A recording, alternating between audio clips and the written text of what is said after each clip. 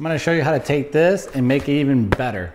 I'm gonna take a dark chocolate protein pancake, add banana, add some honey glazed nuts to make even a better protein pancake. Stay tuned.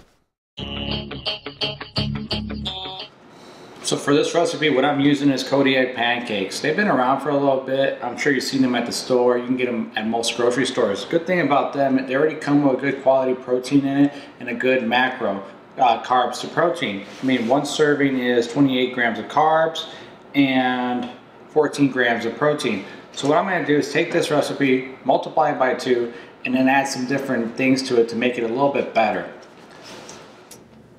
First, we're gonna start off with 106 grams of pancake mix. Now we're gonna add 106 grams of flaxseed milk. This gives you a little bit more protein and a little bit more richness.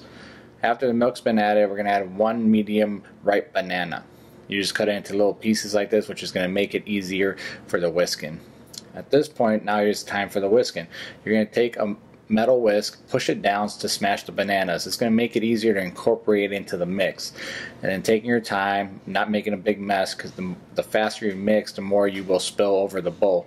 You just start mixing it until nice and smooth. Take your time, make sure that it's nice and smooth and the lumps are removed from the mix. Now you're going to take your griddle, spray a little non-stick spray on it. This will help, you know, make sure it doesn't stick, of course, right? The last, the last thing you need to worry about. You're going to scoop out the pancake mix onto the griddle. You're going to do even portions. So you're going to take about, I would say about four ounces on each one. This yields about three good sized pancakes. So just take your time, make sure that evenly spread it out and use a rubber spatula at the end to get every piece of it out of the bowl. You know, that's the most important part. Don't leave any waste. It cuts down on everything else. Now that they've cooked on one side, flip them over and they're, they're done. For assembly, it's quite easy. You're going to take your plate and you're going to stack them. Three high, because that's all we have, right? Three pancakes, so just three.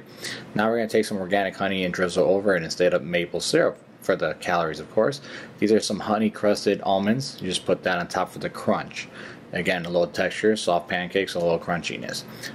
Finish off with the powdered sugar to give it that nice little golden touch. And there you have it. So that's it. I guess there's one last thing to do is to taste it and see how it is.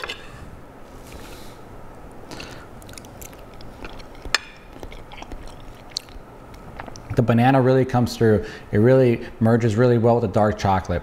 Hopefully you like the recipe. Leave me any comments down below. Leave me any suggestions on how you would tweak it to make it even better. Till next time, love you guys. Bye.